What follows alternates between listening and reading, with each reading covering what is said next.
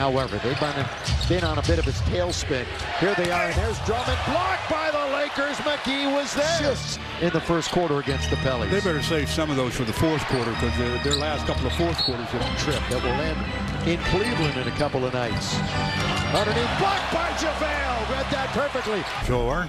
Volkswagen takes us through the glass and shows you how JaVale blocks it against the window, keeps it in play, and LeBron scoops it up and starts to break.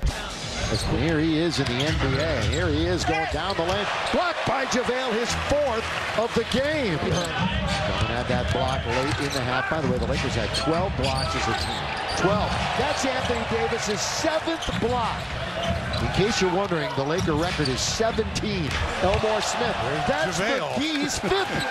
so he's got five, seven for AD, and the team's got 14. Biggest lead was 13. They have never trailed in the game. Tony Snell blocked by JaVale.